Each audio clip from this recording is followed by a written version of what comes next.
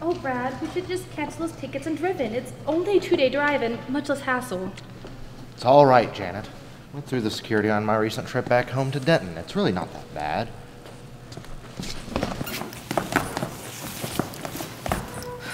Well, this is just ridiculous. I'm not going through that body scanner. Can't be that bad, dear. They only choose one person every so often. Those security agents look familiar.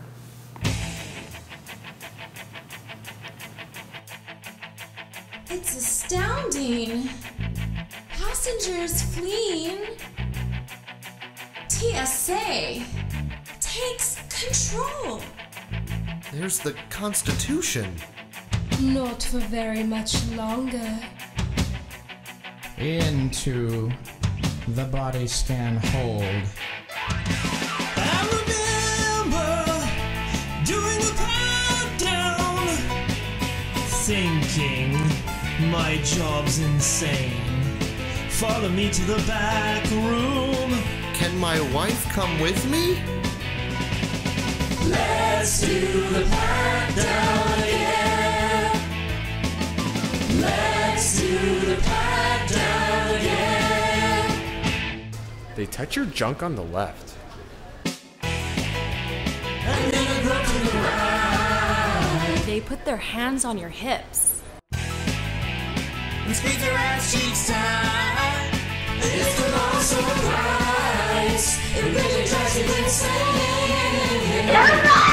Let's do the pat down again. Let's do the pat down again. It's so demeaning. Oh, somebody free me. Stop protesting and remove your clothes. It's like another dimension where they sanction violation. Welcome to modern air travel. We all know it blows. It's a bit of a mind fuck. No sense in keeping your shirt tucked and flying. Will never be the same. Trying to know this sensation. I wish I was